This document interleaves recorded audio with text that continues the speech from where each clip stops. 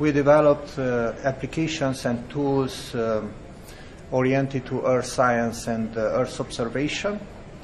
The next project was um, GISEO, that was a collaboration with uh, uh, European Space Agency, and we developed uh, a platform, Eagle, that uh, was used in um, e-learning. So what are our current efforts? We are working on a simple API for grid applications. So we are trying to define and implement a user-driven, application-driven interface to a wide variety of middlewares, and in particular the Globus. I realize as an infrastructure provider, I cannot establish a way that I think one size fits all. I have to be able to support different middlewares, different infrastructures, different communities.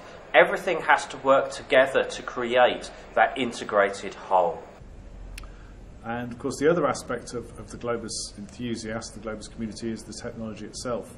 And we've already started um, this participation in that um, Helmut and uh, others have, have, participated in the um, Technology Coordination Board, the TCB, with EGI. And what this does is to go through the, the requirements that are filtering through from the users, all users across the board, and seeing where the, the Globus technology can um, solve some of their needs. And in that case, the elements of the, the Globus toolkit can be included into the um, UMD.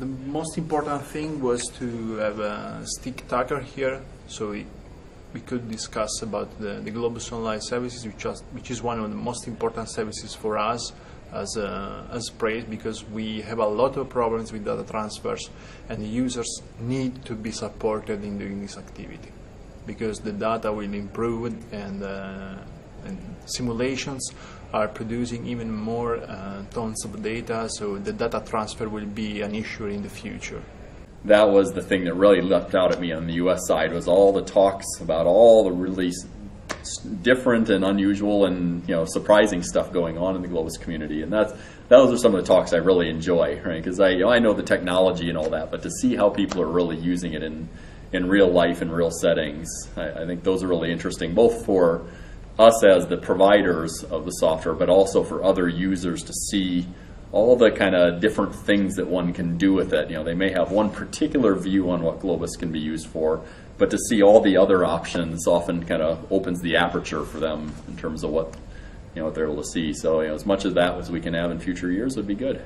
For the first time uh, in uh, MeteoGrid, we used uh, Globus, and as, as I told before, was a quite good experience. Uh, then we move on to another platforms, and we have to make a few compromises in order to reach uh, efficiency, um, high usability and uh, robustness of uh, application and tools. And I think that also as, a, as an infrastructure, we should involve you in collecting our requirements because we have uh, requirements coming from users, we have requirements coming from project, and maybe we could have requirements coming new from service provider.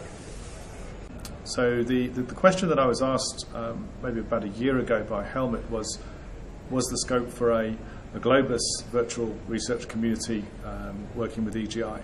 And we said that what we were looking for is um, communities of purpose, as in driven by research interests, rather than communities of practice in their use of technology.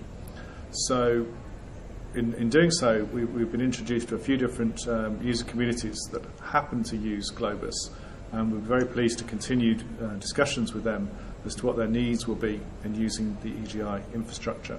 Yeah, I'm very happy with the reception of Globus Online. We're, you know, in general, the reception of Globus Online has been amazing. It's, it's, you know, we were, I was commenting in one of my talks earlier that Globus Toolkit, you know, because it's plumbing, it's low level stuff, we were always so distant from end users. And so as a result, all of the kind of feedback would get filtered uh, in, in, a lot of different ways. And with Globus Online, it's so immediate because what we're doing is for end users. And the response is always this, you know, sort of the eyes lighting up. You just did that, right? That, wait, you know, you just transferred data between two different security domains with different certificates over grid FTP, and I didn't have to do anything. following on from the incredibly successful event, all I can say to everyone watching this is come and join us next year at Globus Europe and also see our presentations at the Globus World event. Thank you very much. I will recommend users to attend the Globus Europe events.